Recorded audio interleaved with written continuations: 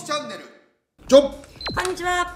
さあ今日は、はいヤクルトスワローズです、はい。3連覇へ向けて指導してますけども、はい。その中でも崖っぷちの人がいますね、そうか。強いチームでもガジェップチはやっぱりいると。そうですはい。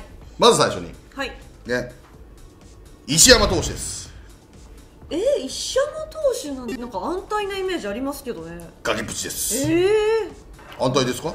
えー、なんかそんなイメージでさ去年もいい感じで投げてませんでした？はそうですね。い。はい。1.75防御率。うん、全然安泰じゃないですか。38試合登板はい。崖っぷちです。えー、どこがですか？えな納得できませんか？えー、もうなんか今年はじゃあもしかしたら守護神やるんじゃないかとか。そこです。はい。守護神返り咲けるかどうか崖っぷちです。えその崖っぷちですか？あるいろんな崖あるからあ結構もういろんな崖できてるんですね。もちろんもちろん、はいはい。あのそんなクビになる崖だけじゃないから、はい。ろんな崖あるから、うん。まあ、昨年ね防御率1.75、うん。38試合登板して、はい。でまあ優勝にもね大きく、ね、貢献しましたし、マクガフがはい。退団することによって、今ね、えーリリーフ再編しなきゃいけない中で、ん。まあ、ケラがね、守護神候補とはい。言われてますけども、若干まだ現状パッとしない、うん。まあこうね外国人は開幕に向けてなんで、まあ、ここからどんどん上げていくでしょうけども、はい。まあ、清水っていうね、声もそうですね。上がってますけども、はい。俺は石山がいいと思うのよ、うん。守護神。清水が後ろ行っちゃうと、じゃあ8どうすんだよってなるから、まあ、87とかに清水を置いといた方がチームとしてはいいんちゃうかっていう、っはい。てなったら、石山がうん。守護神、はい。ね、今年35歳。うん。ラストチャンスはい。守護神に向けては、ここでもしケラとかがハマっちゃうと、もう、ね、3年ぐらいケラになっちゃうから、はい。そしたらもう石山が守護神に返り咲くことないじゃん、正直ね、はい。だから守護神返り咲くためには、今年が野球人生、はい。最初で最後のうん。ビッグチャンス、おお崖です。ものすごい今いいチャンスなわけですねそうそうそうそう。俺は石山を推してんだよ。はい。守護神、ん。だからこそ声を大にして言いたい、頑張れとものすごい期待とね応援の気持ちですね。そうそうそうそうそう、チャンスあるからね、はい。これあんまりだったらね、守護神はちょっとと思うけど、去年もいいって形になったし、でもともと経験者だからね、はい。そのポジションのメンタル的なこととか、準備とかも分かってるだろうしね、そういった意味では、まあ、ちょうどマクガフいなくなって、はい。周りからね、マクガフの代わり不安要素って言ってるけども、俺は石山がすんなりはまれば、そんなに大きなマイナスじゃないんじゃないのかなと思ってるから、うんはい。その守護神に行けるかどうかの崖です、おおなるほど。崖っぷちです。はい。乗り越えれるかどうか。そうですね、うん。でもう一人が、はい。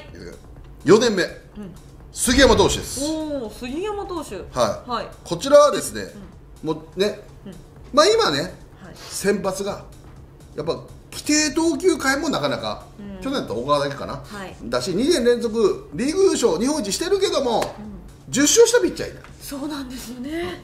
でリリーフ、うん。マグガフが抜けてケラ取ってきたけども、まあちょっとリリーフ。再建しなきゃいけない、うん。杉山投手、はいえー昨年、えー2022年、うん。まあ、一軍ね昇格果たしたけども打球直撃のアクシデント見舞われて、不運な形で登録抹消と、はい。でその後2軍で41試合登板、5勝3敗、はい。防御率3.46と、一昨年クローザーも任せられてね、2軍でね、はい。っていうところもあるから、まあ、リリーフが主体になるのかなっていうところはあるけども、まあ入ってこれる要素はあるけども、はい。ここで頑張んないと、吉村ね、うん。新人もいるし、ね。ね、大西とかもいいしね、あの梅野とかいろんなリーグの選手たちの層が厚くなってきてるから、今年ね大卒で4年目、4年目。25そろそろ行きたいね、そろそろ。うん。まあヤクルトもそうですね。若い新人もねそうそうそういるしねねちょっと投手陣ね後ろ特に熱くなってきてるからね、そういった意味ではちょっと今年が本当にはい。省で入れて頑張んないとね、おー。なかなかポジションが厳しくなってくるよっていうね、はい。ところはあるね、はい。はい、で続いてが、はい。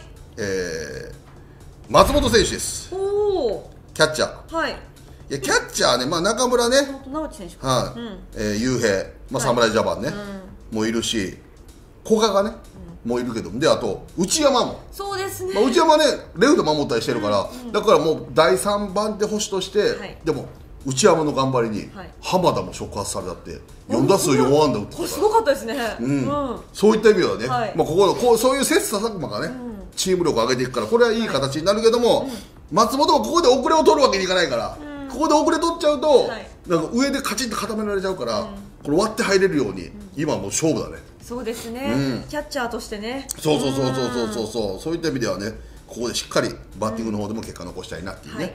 えーところはあります、はい。えー続いてが、はい。川端選手です。わあベテラン。そう、うん。これなんでかっていうとまあなんでかって言ってもね、もう川端選手も超ベテランだし今36年36、か、うん、18年目。はい。ね。でまあいろいろ体のね、まあ怪我とかもあるけども、まあ、あの2021年はね91試合に出場して第3割7分2厘、代打でも大活躍みたいなね。そうですね。でここによ、はい。この川端のポジションに青木が来る可能性もあるんだよ。でそうなってくると2枚ってなかなかね、はい。まあ、もちろん青木はスターティングラインナップでね出ることもあるだろうけどもね、はい。だからこれはもうどこまであと長くできるかの勝負だね。トータル打率2割9分3厘だからすご高いね。いですね。3割乗せたいね。うん。うん。そうかでも去年のじゃあ1割7分5厘っていうのがすごいだちょ,、まあ、ちょっとさ、うん下げちゃったけど、まあでもねここはもう一世一代の大勝負だね、そうですね、まあ年齢もっていうところもあるけどね。うん。うんまあ、あと青木とポジションかぶってくるからね、はい。まあ、これはもうね年がいけば全員ねサバイバルだからね、そういったところはあれだけどもね。はい。で続いてあがまだいるんですね。いる。はい。西浦選手です。西浦選手か。はい。はい。これはもうん。う頑張んないとはい。ねショートのはい。ねなかなか埋まらずにっていうところを長岡選手がそうですね。埋めて、この練習試合も長岡選手いい形のそうなん結構わ打ってるんですよそうなってくるとよ。危ないのよ、そうですうん。ねだからあの広岡選手がトレードされたように、ちょっとまあでもずっとチャンスあったからね、ずっと。はい。それをつかみきれなかったのが痛いね。で去年一軍にもあんこそう6試合。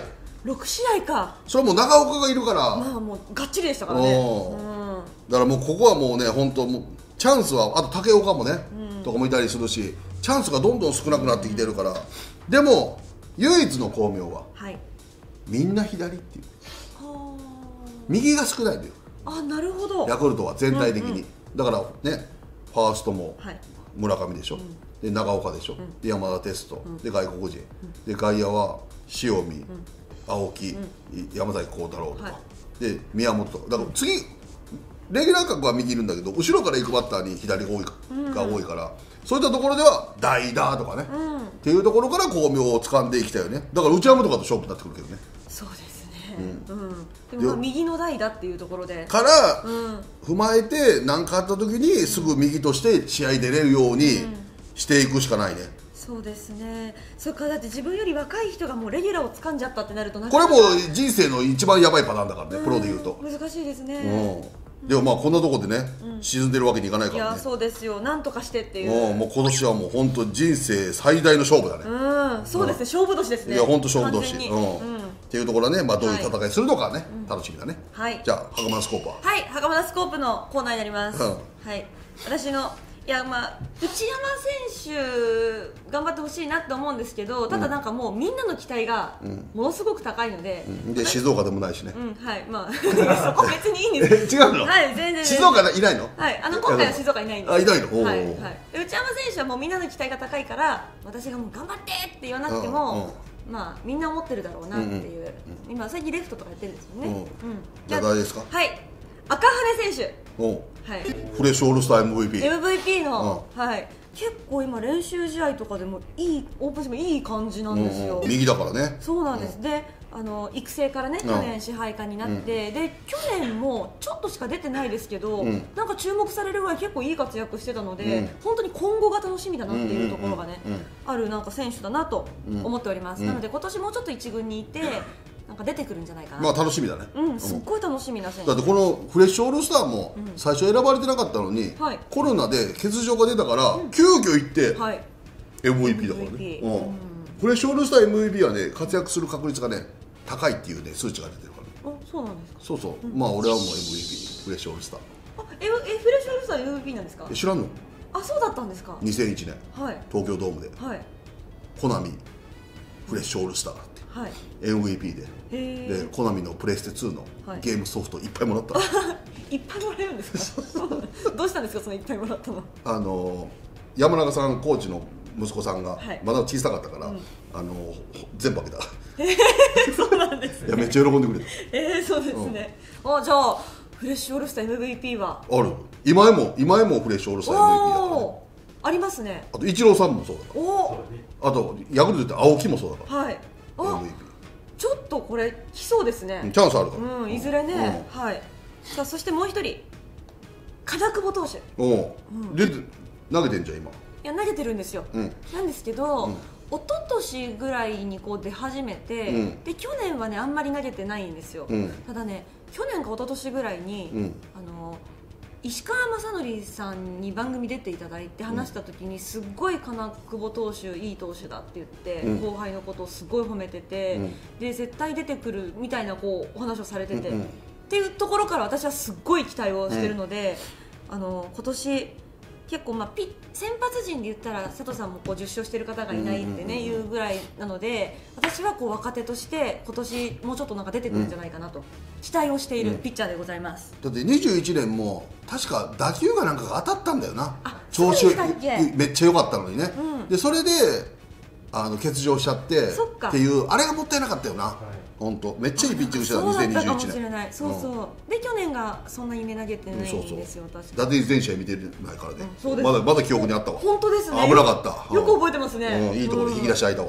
はい。すごい記憶が。まあでもヤクルト3連覇に向けてだからね、はい。うん。そういった意味では、まあね。でもこういった意味ではすごい楽しみな若手もいるんですよね。いるいるいるいるいる、うん。ねえ、はい。なので私はまあネクスターとして。うん、ネクスターね、はい、赤羽選手と金久保選手を挙げたいと思よいます。く覚えてたね、はい。もう俺忘れてたよ